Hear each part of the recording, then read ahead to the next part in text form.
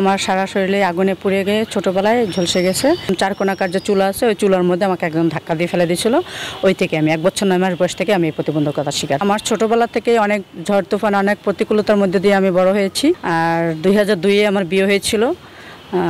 এক অপ্রি- অকৃতজ্ঞ যাকে বলা যায় যে স্বার্থের জন্য আমাকে বিয়ে করেছিল।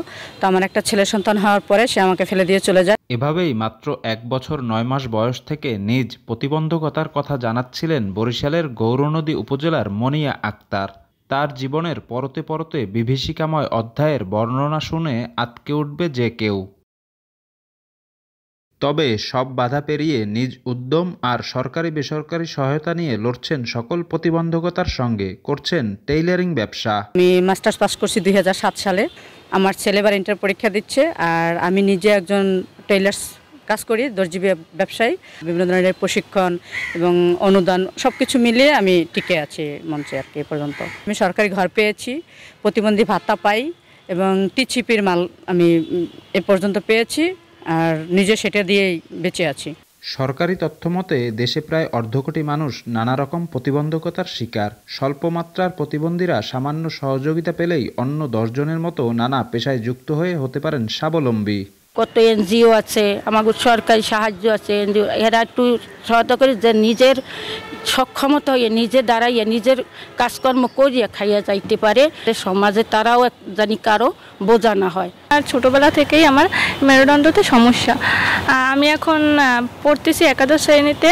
সমাজে এখনও আসে প্রতিবন্ধী যারা পরিবার বা আত্মীয় স্বজন তারা লজ্জায় বের করে না। তারা যদি তাদের সন্তানদের চলতে সাহায্য করে, একটু এগিয়ে নিতে যেতে পারে, তাহলে একজন প্রতিবন্ধী ব্যক্তি দেশের বোঝা নয় সম্পদ হয়ে উঠবে।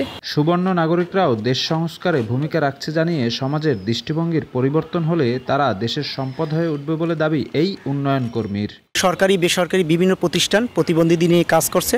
আর যে সমস্ত উদ্যোগগুলো আমাদের নেওয়া হয়েছে সেই উদ্যোগগুলোর সাথে সকলে যদি সহযোগিতা করে এবং হাতে হাত মিলিয়ে কাজ করে তাহলে সমাজে প্রতিবন্ধীরা বোঝা না থেকে সামনের দিকে এগিয়ে যায়। প্রতিবন্ধী ব্যক্তিদের কর্মক্ষম হিসেবে তৈরি করতে নানা উদ্যোগের কথা জানান এই সরকারি কর্মকর্তা।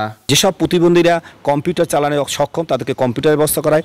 যেসব প্রতিবন্ধীরা শারীরিকভাবে মানে চলাচলে অক্ষম তাদেরকে কৃত্রিম পায়ের মাধ্যমে সংযোজন করা হয় এবং যেসব প্রতিবন্ধী সন্তানের মা বাবা গরিব, অসহায়, তাদেরকে আমরা ক্ষুদ্র ঋণের আওতায় নিয়ে এসে একেবারে বিনা সুদে সার্ভিস চার্জের মাধ্যমে ক্ষুদ্র ঋণের মাধ্যমে তাদের আত্মস্বাবলম্বী করে যাচ্ছি। এক্ষেত্রে উন্নয়ন সহযোগী সহ- সহযোগী সংস্থা এবং সমাজসেবা অধিদপ্তর একসাথে কাজ করছে। দুই হাজার তেরো সাল থেকে প্রতিবন্ধী ব্যক্তিদের সুবর্ণ নাগরিক আখ্যা দিয়ে সমাজের মূল স্রোতে ফিরিয়ে আনতে কাজ করছে সরকার। শফিক মুন্সি, দেশ টিভি, বরিশাল।